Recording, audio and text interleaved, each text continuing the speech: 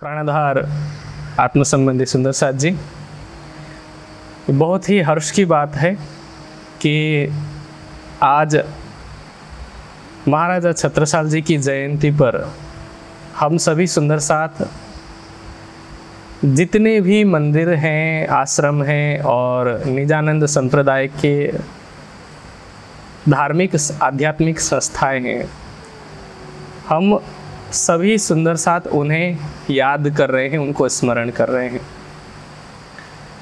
विक्रम संवत 1706 ज्येष्ठ महीने के शुक्ल पक्ष की तृतीया को छत्रसाल जी का जन्म हुआ। चूँकि बीतक में हम हर वर्ष सुनते आए हैं तो मुझे लगता है कि तिथि इत्यादि सबको याद ही होगी।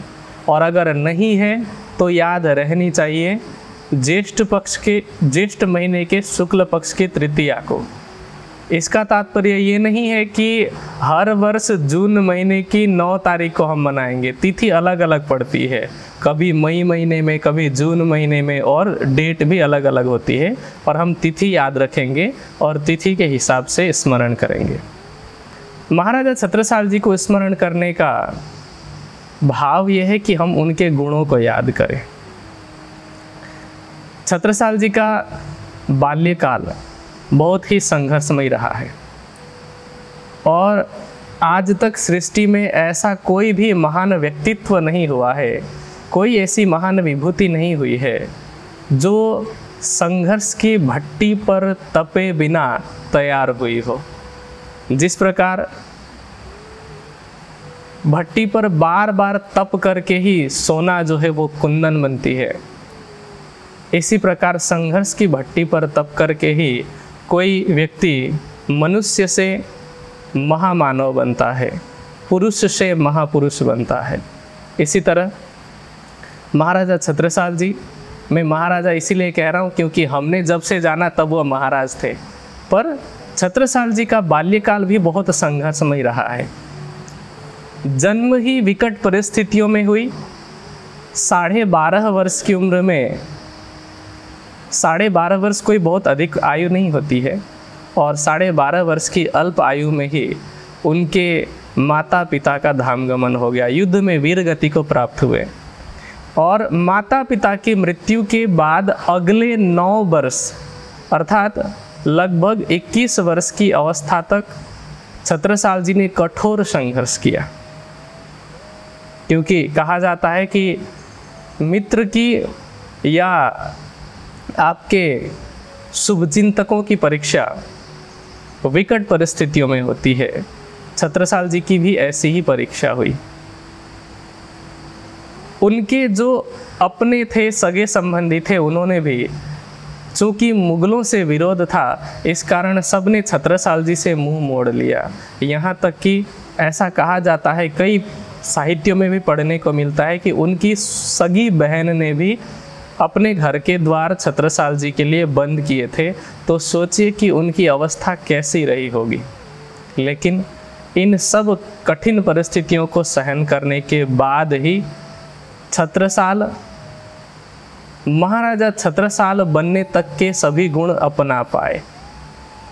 जब हम उनके गुणों की बात करते हैं क्योंकि समय का अभाव है 20 मिनट में तो हम उनकी लीला को या उनके गुणों को नहीं बता सकते, लेकिन फिर भी मैं चाहता हूँ कि संक्षेप में कुछ गुण सुंदर साथ के मस्तिष्क में जाएँ, ताकि मस्तिष्क से हृदय में उतरे और हम भी उन गुणों को धारण करने के मार्ग पर चल सकें। उनमें एक योद्धा का गुण था, जुझारू योद्धा का गुण था। मैं बाहरी गुण से प्रारंभ कर रहा हूँ, लौकिक गुण से। और उनके तो लौकिक गुण भी अलौकिक थे। देखिए 25 सैनिकों से उन्होंने अपना पहला युद्ध प्रारंभ किया था। 30 सैनिक समझ लीजिए, जिसमें पाँच घुड़सवार और 25 पैदल सैनिक थे।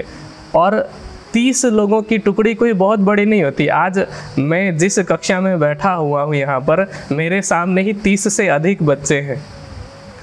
तो 30 सैनिकों की टुकड़ी से उन्होंने शुरुआत की और कहाँ दो युद्ध उन्होंने लड़े। तो उनका मैनेजमेंट कैसा रहा होगा? किस तरह से तीस लोगों की टुकड़ी से उन्होंने पूरे बुंदेलखंड पर विजय प्राप्त की होगी?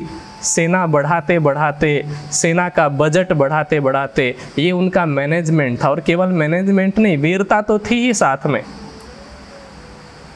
तो उनके अंदर की वीरता का गुण ऐसा था कि कहा जाता है कि उन्होंने दो लड़ाइयाँ लड़ी थी। जिसमें बावन लड़ाइयाँ बड़ी बड़ी थी। और यहाँ तक कि बीतक में भी हम पढ़ते हैं कि 22 असवारों मारी फौज तीन हज़ार। तीन हज़ार लोगों के सामने 22 लोगों की टुकड़ी लड़ी थी। हाँ अक्षरातीत श्री प्राणनाथ जी का आशीर्वाद तो प्राप्त था ही, लेकिन उस आशीर्वाद के पीछे उनका दृढ़ विश्वास भी था। तो उन्होंने दो सौ बावन लड़ाइयाँ लड़ी और उनके विषय में कहा जाता था कि इत यमुना, उत नर्मदा, इत चंबल, उत टोस, छत्र साल सो लरन की, रही न काहू होश उनसे लड़ने की हिम्मत, लड़ने का साहस कोई नहीं कर पाता था और यहाँ तक कि अपने अंतिम समय में औरंगज़ेब ने भी अपने पुत्रों से कहा था कि किसी से भी लड़ाई कर लेना दुनिया में, लेकिन छत्रसाल से मत लड़ना क्योंकि उनके पास खुदाई ताकत है। तो ये वीरता का योद्धा का गुण था। लेकिन छत्रसाल केवल राजा, महाराजा या वीर योद्धा ही नहीं थे। छत्रसाल जी में विद्वत्ता भी थी। और ऐसी विद्वत्ता नहीं, विद्वत्ता कूट कूट कर भरी थी। आप सोचिए कि बीतक का एक प्रसंग हम सब सुंदर साहब को याद है कि बुंदेलखंड के जो बड़े बड़े विद्वान माने जाते थे, सबसे बड़े विद्वान इकट्ठे हुए।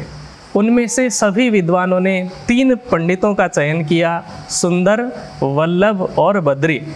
उन तीनों से शास्त्रार्थ किसने किया? छत्रसाल जी ने। और न केवल उनको शास्त्रार्थ में परास्त किया, उसके पश्चात भी हमें पूरे इतिहास का शायद नहीं पता, क्योंकि लालदास जी कृत वितक में सिर्फ़ इतना ही वर्णित है, लेकिन वृत्तांत मुक्तावली में आगे के प्रसंग का भी वर्णन किया गया है कि बद्रीदास जी के जो पुत्र हैं उन्होंने सोचा कि एक राजा क्षत्रिय उसने मेरे पिताजी जो कि ब्राह्मण विद्वान पंडित थे उस, उसको हराया तो मैं उनसे बदला लूँगा और ज्ञानी बदला लेगा तो ज्ञान से ही लेगा। वे और अधिक ज्ञान प्राप्त करने के लिए बनारस गए जिसको हम काशी भी कहते हैं। काशी जाकर के बारह वर्षों तक विद्या अध्ययन किया और जाकर के पुनः छत्रसाल जी को शास्त्रार्थ के लिए चुनौती दी और बारह वर्ष के अध्ययन किए हुए पंडित को, जो कि ब्रजभूषण जी हैं, बद्रीदास जी के पुत्र, उनको भी छत्रसाल जी ने पुनः शास्त्रार्थ में परास्त किया और उसके बाद ब्रजभूषण जी ने तारतम्य ज्ञान ग्रहण किया और उन्होंने जो बीतक लिखी, वही हमारे समाज में वृत्तांत मुक्तावली के नाम से प्रसिद्ध है। और इन दो घटनाओं के अतिरिक्त एक और बात की मैं पुष्टि करना चाहूँगा या एक और बात रखना चाहूँगा मैं सुंदर साहब के बीच में, उनकी विद्वत्ता से संबंधित कि छह दर्शन का जो विषय है, शास्त्रों का, ये बहुत जटिल विषय माना जाता है। जब श्री जी हरिद्वार पहुँचे थे, वहाँ तो दर्शन के विशेष विद्वान थे।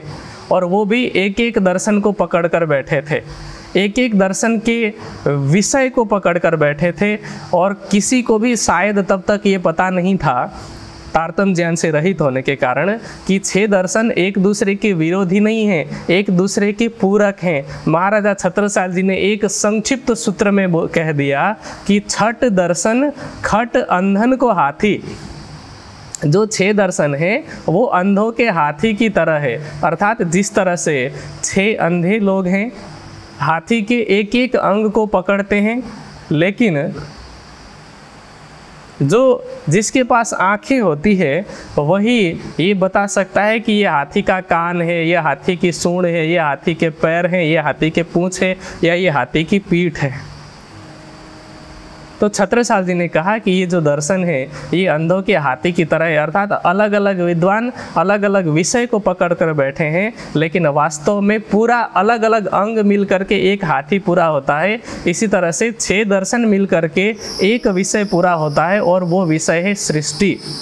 कि सृष्टि की रचना कैसे हुई, उसका निमित्त कारण क्या है, उपादान कारण क्या है, साधारण कारण क्या है, वो सब हमें तारतम ज्ञान की दृष्टि से पता चलता है, जो कि महाराजा छत्रसाल जी ने एक सूत्र में बताया।